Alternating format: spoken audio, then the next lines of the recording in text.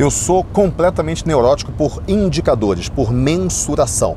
Porque se você não tem indicadores, se você não sabe se você está na direção certa ou não, se você não sabe se você está indo muito rápido ou muito devagar, você não sabe se você tem que mudar a direção, se você tem que acelerar, se você tem que frear um pouquinho.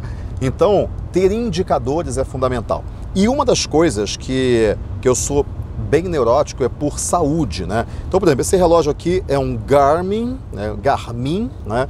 É um relógio que é um dos melhores para mensuração de indicadores de saúde, principalmente quando você está fazendo esporte ou treinando, ou você está nadando, ou então você está correndo. Então ele é muito bom para isso. Ele tem um monte de mensurações, um monte de indicadores e, e aí você conecta com, conecta com o Training Peaks, que é um, um aplicativo, é um, um, um software né, é, na nuvem que você conecta o Garmin com o Training Peaks e daí você consegue ver mais indicadores ainda e, e isso vira é uma, isso vira uma, uma gestão pessoal. Como assim gestão pessoal, né? Porque uma coisa é você gerir a empresa. Você vai gerir a empresa por meio de indicadores, você vai gerir a empresa por meio de, de um processo, você vai ver se o processo está funcionando ou não. Mas você, a sua saúde, né, o seu corpo, é a sua maior empresa. Aliás, é a mais importante que tem. Então você tem que fazer o quê? Medir também os indicadores da tua saúde.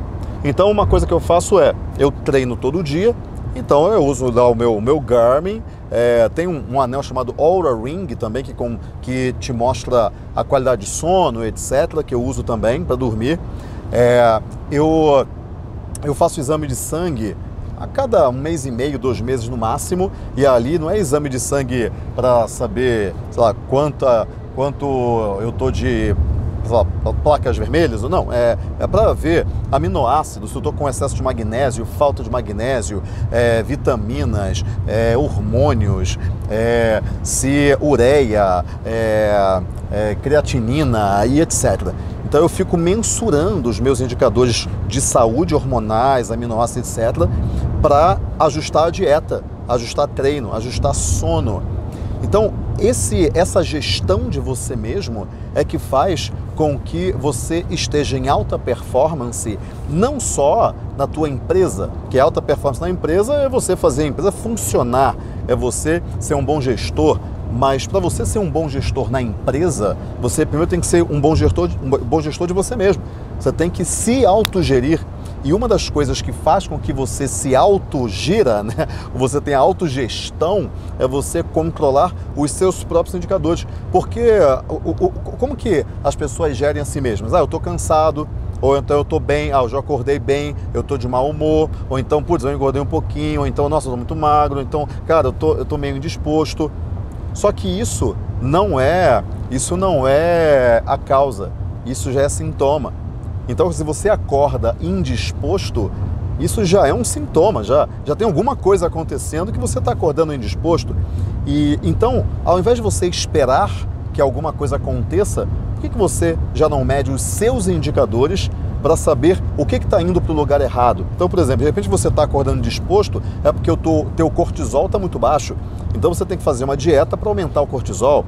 Ou então você está com a testosterona muito baixa, de repente você faz uma reposição hormonal. Ou então você você está com falta de algum aminoácido e por aí vai. E, e, é isso que faz com que você não, não, você não veja o sintoma e ache que o sintoma é um indicador. O indicador vem antes do sintoma. O sintoma é o resultado.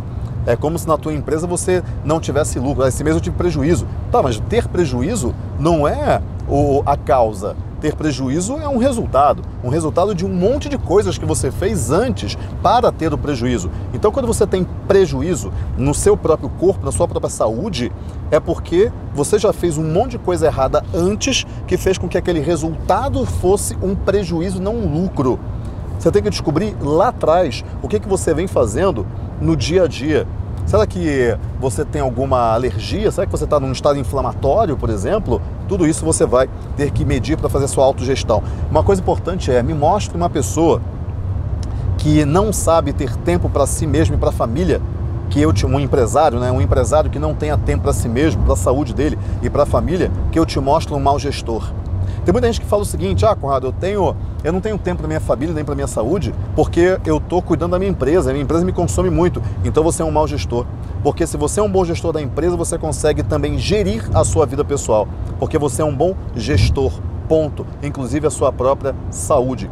E sendo um bom gestor não significa você, você fazer tudo sozinho, é você gerir pessoas, processos, modelos de negócios, sócios, e é isso que faz com que você de fato seja um bom gestor, não só da sua empresa, mas também da sua saúde, também da sua família, dos seus relacionamentos. Mas começa com você. Depois que você gere a você mesmo, você consegue gerir tudo do lado de fora, porque a mudança começa dentro e não fora. Guarda essa.